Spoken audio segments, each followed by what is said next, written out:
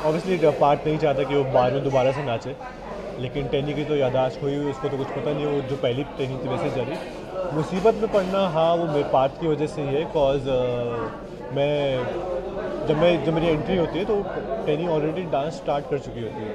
और मैं उसको प्यार से कन्विंसिंगली कोशिश करता हूँ कि वो नीचे आए। जब वो नहीं मानती तो उसमें से कोई एक बंदा जो सीधी से आदमी होता है, उसको उसको छूता है, जो मुझे पसंद नहीं आता, फिर हाथापाई शुरू हो जाती है। हाँ तो वो जो लड़ाई की वजह वो मैं ही हूँ। हाँ तो भाई मैंने शुरू